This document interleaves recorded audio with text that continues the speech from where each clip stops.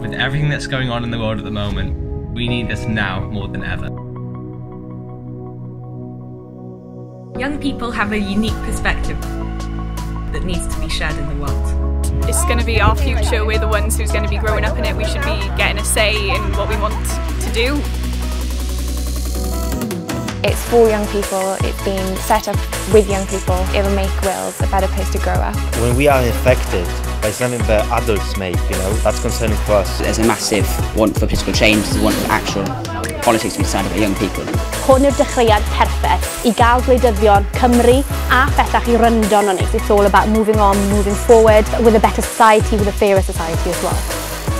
Mae'r cyfle hwn yn cyfle eiraidd i sicrhau bod llais pobl ifanc yn cael ei rhoi yn ôl um, ar flaen materion pwysig Cymru. The topics that you're discussing aren't politics, it's everyday life, the environment, your schools, your health services, everything that matters. a lot of people like my age now have got some really good ideas about changing the world and we've got to start somewhere like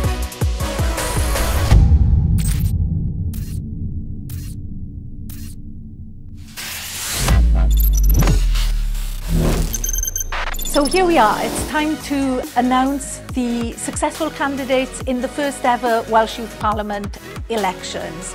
It's been a fascinating period of election. We've had over 450 candidates put their name forward for election. We had 20,000 and more registering to be a part of that election and to, and to cast their their votes. So it's been a huge success. I want to thank everybody who's been involved along the way, the young people themselves of course, but also the schools and the institutions who've helped make this election a success.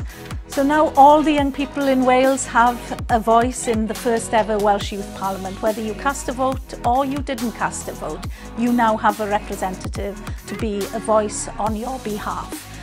So it's time, time uh, to reveal the successful candidates, time to reveal the first ever members of the Welsh Youth Parliament.